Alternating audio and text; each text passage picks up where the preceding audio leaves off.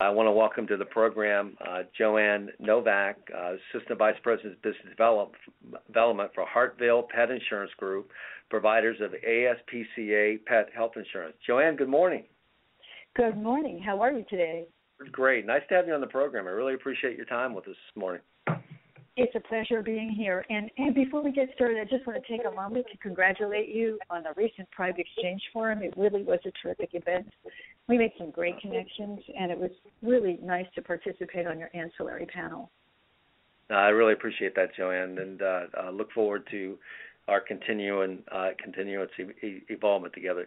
You know, my background goes way back to founding Employee Benefit News, as you might well know, and you know I've was back at the beginning when pet insurance first raised its head, and I think uh, today we see tremendous growth. Talk a little bit about talk a little bit about the history and what we see today, and and where you see pet insurance going, and I guess also start and give a little background on uh, ASPCA Pet Health Insurance.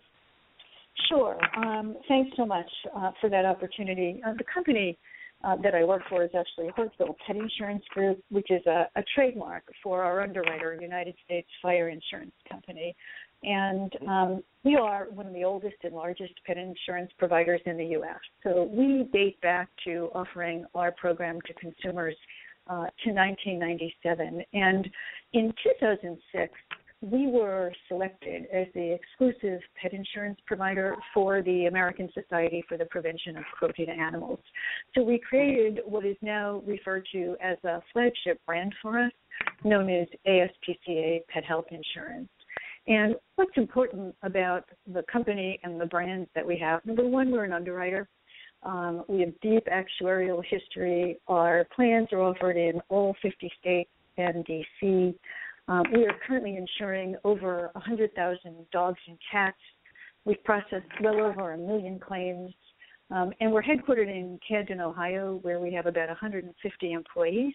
Um, but that doesn't count the pet head count. So on any given day, we've got about 40 pets that come to work with us as well. so, so, so pet you guys, insurance. you guys practice yeah. what you preach, right? Uh, yeah, pet, we pet sure parents. Do. You're up. We do, and we have good pet behavior as well in the office. It's really lovely, though, to come in and visit with us. Um, but pet insurance is still a relatively young consumer product in the United States. It's, it's even younger as a mainstream voluntary benefit. So um, Hartville recognized the potential for pet insurance on the voluntary side and actually created a dedicated channel to focus on voluntary benefits back in, in 2008, which is when I came on board with the company to help them build that channel. And so we took a predominantly distributed direct to consumer product um, and created a voluntary opportunity, and it's it's really paid off for us because today we're in over a thousand organizations through various wow. partnerships. How, how does it? How does pet insurance generally work? I mean, how does it? Tell me how it works. Um, I'll try to demystify this a little bit for you. It's actually filed. it's actually filed property and casualty insurance, so it acts a lot like human health insurance. So, in terms of the basics, simply put, pet insurance helps a pet parent pay for veterinary care. Um, mm-hmm. According to the American Pet Products Association, about 68% of households, that's about 82.5 million homes, have a pet. And last year, we spent over $15 billion in veterinary care, and that's about a 66% increase over spend in 2006. So our pet insurance, ASPCA pet health insurance plans, offer a range of affordable coverage options with benefits available for everything from accidents, illnesses, wellness care, hereditary conditions, alternative therapies. We like to say we have a plan for every need and budget. And accident plans, which are similar to a catastrophic plan, can start at less than a dollar a day. And our average annual premium is about $425 a year. How does it work? Um, plans are actually based on the premium is actually underwritten based on the age of the dog or cat, the breed, the species, and the zip code. And so that's where it begins to sound a little bit like human insurance. Um, yeah, also, uh, right? So the higher the age, the higher the premium. Breeds, of course, for example, a giant breed may be predisposed to more health related issues or, um, unfortunately, a shorter life. That kind of sounds like a smoker versus a non smoker being rated on the on the life side. Um, and and so the benefits um, our, our consumers can choose a deductible.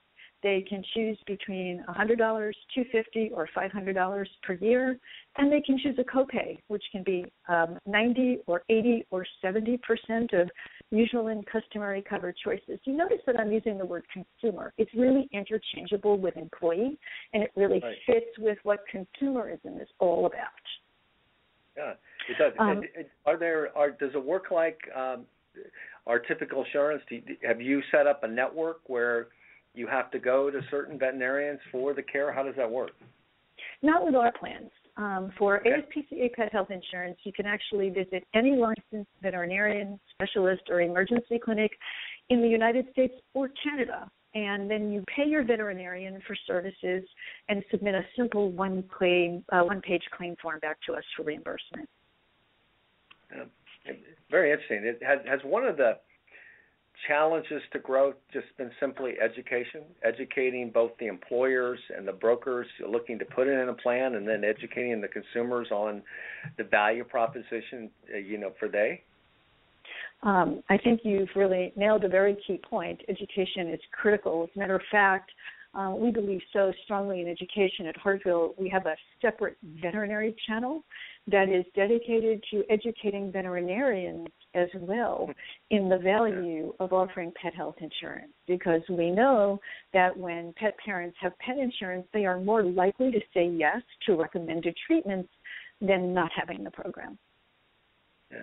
And and uh, and you just alluded to the connection with consumerism. I mean, it all makes logical sense if we're you know whether it's an exchange environment that we'll talk a bit about, or whether it's just the overarching healthcare consumerism, if the if the key is providing employee consumers with choice, pet insurance seems to very be a logical choice to have in this offering. Well, we we we firmly believe that, and you know, listening to Scott in the previous interview talking about um, engagement um, as another yeah. key component, and this is a year-round benefit. It is not yep. just something that's offered at open enrollment. So it's one of the things that you can use to drive employees back to your exchange um, with educational tools and and support. Yeah, you know, we talk a lot about the fact that you know, in an exchange, for the exchanges to succeed, it's got to be a complete offering from A to Z. And you know, the first part is to you know the choices that help them choose the right major medical plan and then the right supplemental health to fill in gaps and manage the risk for their families. But then the other is lifestyle benefits to better manage their lifestyle. And you know whether that's that's life insurance, whether that's other elements, that's where pet insurance just has a very logical fit. I mean, I'm a pet parent, and Jonathan's sitting here as a pet parent, and it it, it makes it makes a ton of sense. Well, I'm a pet parent. I I actually don't have human children. I say I have three kids with 12 legs, and I actually think I'm my next favorite hypochondriac. Um, but I am I, so so. I not only market pet insurance. I'm an active user of the pet insurance policies that I have for for my pet kids. But I, I'm going to expand this concept um, in in connecting it to the workplace as well, because from a you talk about choice um, yep. And this is a benefit that employees are asking for. We hear this a lot with inbound requests from human resources. I say to them, you know, how did you hear about us?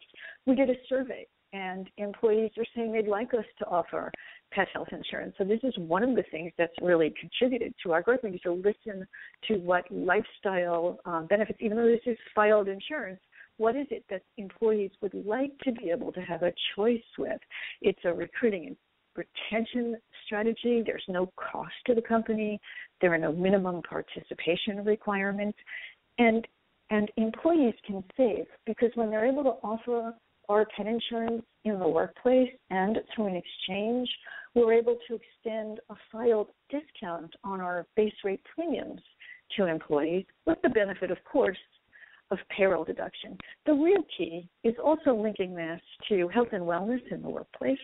And if so, as pet parents, you and Jonathan know that we consider pets as part of the family. In fact, our new channel tagline is Pets are dependents too.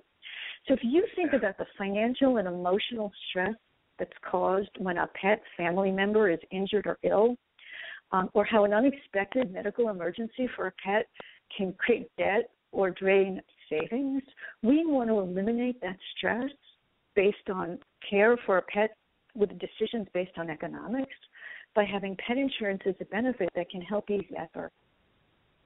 That that just makes uh, all the sense in the world. Is it? And I think stress management uh, is a big, big issue right now. To and there's a lot of different moving parts. You're you're actually pointing to one uh, that needs to be addressed. You know, to promote you know overall wellness. You know, and and this is both financial and emotional stress that can be caused through the you know financial you know challenges that some pet parent might deal with and having to take care of that pet, and then just the emotional challenge of making sure it's dealt with the right way. Absolutely. Yeah.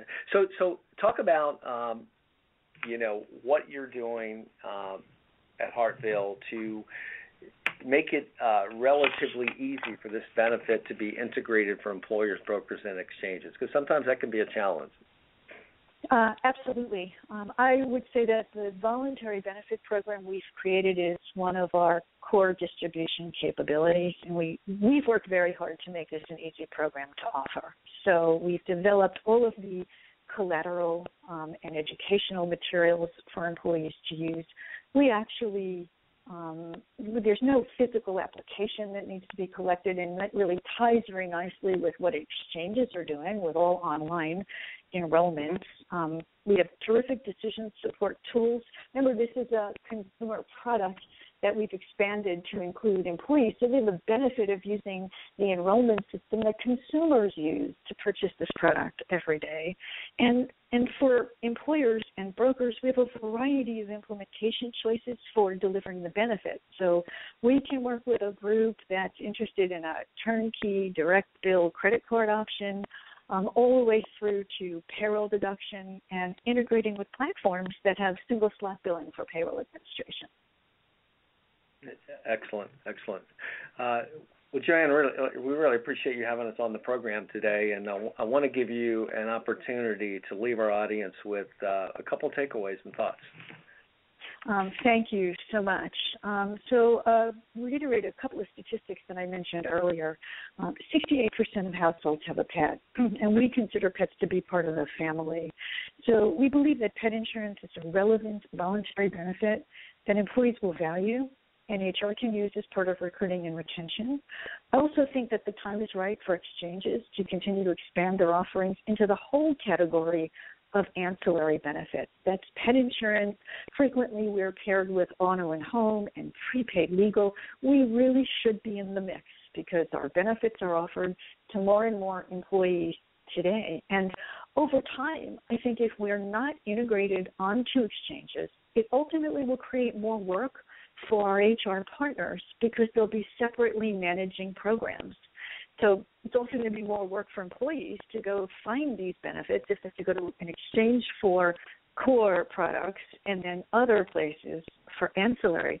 So we think that there's a wonderful opportunity to to really begin in this category to integrate more on exchange platforms. And I want to thank you so much for having me on the program today. Well, we really enjoyed it, and uh, we, we, sincerely appreciate you being part of the IHC too, JoAnne, and uh, look forward to uh, seeing you soon. Enjoy your weekend. You do the same. Thanks so much.